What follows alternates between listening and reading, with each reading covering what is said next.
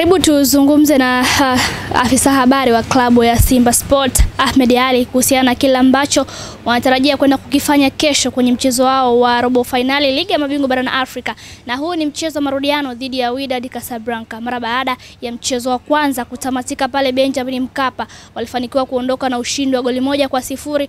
Wamekuja sasa Morocco kuhakikisha kwamba wanaitafuta nusu fainali msimu huu kwenye Champions League. Malengo yakoje, lakini pia maandalizi mpaka sasa na kikosi je, vipi? Kuna nyota ambao watakosekana kwenye mchezo huo, lakini atueleze pia Wydad ni mpinzani wa namna gani? Sasa umewafuata nyumbani kwao. Mchezo wa kwanza waliona jinsi ambavyo ulivyokuwa. Naitwa Zaina Mohamed, Jackie Voice nyuma ya kamera.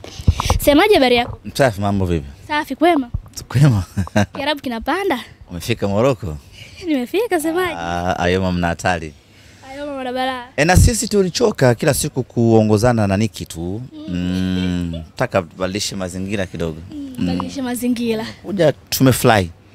Semaje, umefurahi wewe, umefurahi wengine? Ah, tumefurahi yani, sisi tumefurahi kuwa na wewe hapa Moroko eh. Niki mkiwa naye Ah, alikuwa ametuchosha kila siku yetu bwana, kama kama TV yake eh. bosi kawasikia. Eh, amesikia. bosi kawasikia safari. Eh, lazima eh, eh. Eh. Semaji vipi, hali ikoje hapa Moroko mara baada ya kufika? Sio mara ya kwanza Simba kuja hapa uh, Moroko. Ya Morocco ni wenyeji sana na Morocco yote hii Casablanca wanatujua kwa sababu tumeshakuja sana. E, ndani ya kipindi hiki kifupi tu. Hii ni mara ya tatu tumekuja hapa, tukaenda kucheza na Berkane. Berkane, lakini ni mji mwingine, kwa lakini unafikia hapa.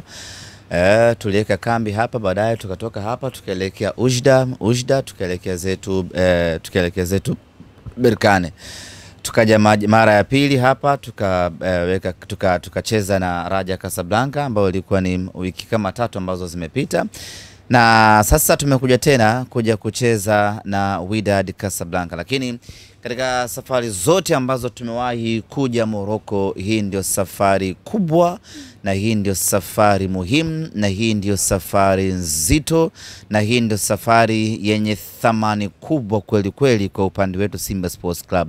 Ni kwa sababu tunakwenda kuandika historia mpya ndani ya timu yetu, tunakwenda kutinga nusu fainali insha Allah. Ndio maana nasema hii ndio safari kubwa kuwahi kutokea mnyama ndani ya Moroko. Tuna mchezo mkubwa ambapo Afrika nzima wanasubiri kwa hamu kuona huu mchezo, wanasubiri kumwona bingwa mtetezi akivuliwa ubingwa, wanasubiri kumwona mnyama akiandika historia mpya ndani ya Champions League. Kwa hiyo ni, ni, ni, ni, ni, ni, ni, ni, ni, ni, safari ambayo ina, ina, ina mazito ndani yake, ni safari ambayo eh, tunakwenda kuishuhudia Afrika ikitikisika. Ni safari ambayo inakwenda kuishuhudia Afrika ikikwenda kuandikwa historia mpya. Uzoefu wa nyie hapa Moroko pengine unakwenda kusaidia hiki ambacho mnatamani kukifanya na ukubwa huu ambao unaozungumzia katika uwanja wa Mohamed wa tano hapo kesho. Yes, uh, Mohamed watano tulikuwa hatujawahi kucheza kwa muda mrefu, lakini tulivyokuja kucheza na Raja tukapata ladha halisi ya Mohamed watano. Kwa hiyo hivi sasa Simba tunajua kitu gani tunakwenda kukutana nacho Mohamed watano, na hiyo ni faida kubwa kubwa kubwa kweli kweli. Eh, hakuna ambacho kitafanyika kipya katika uwanja wa Mohamed watano kesho.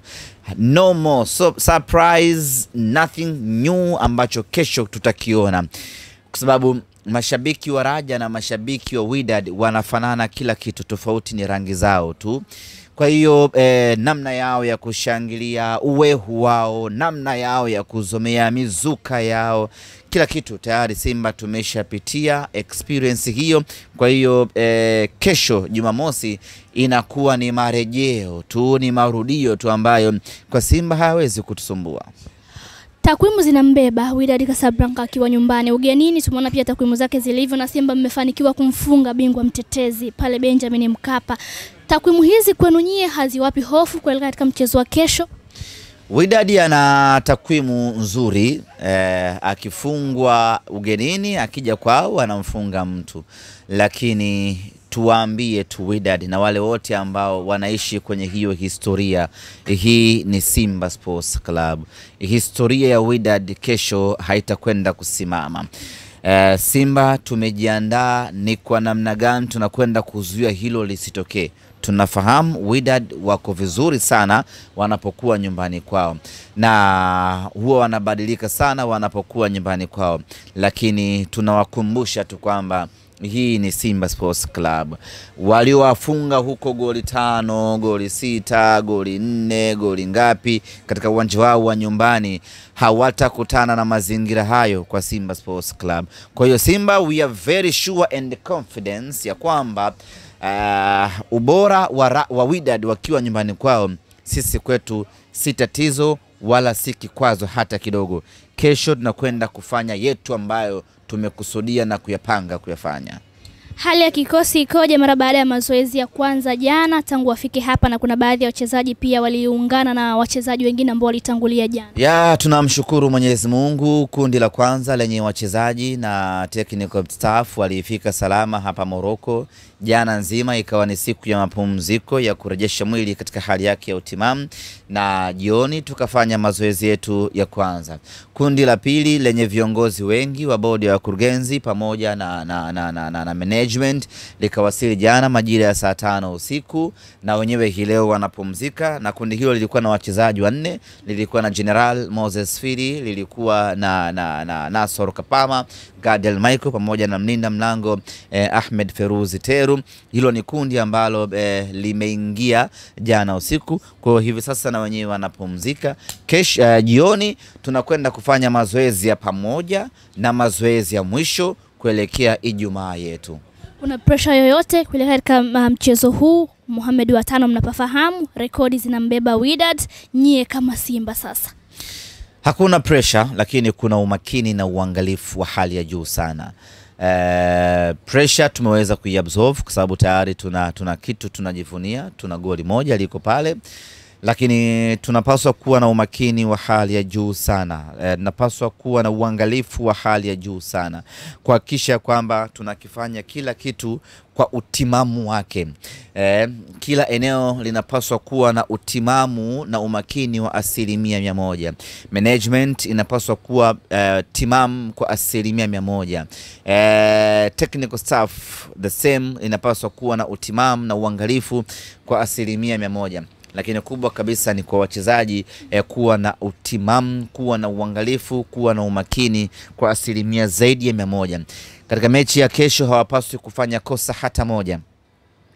Wanapaswa kuwa na uhakika na kila jambo ambalo wanalifanya.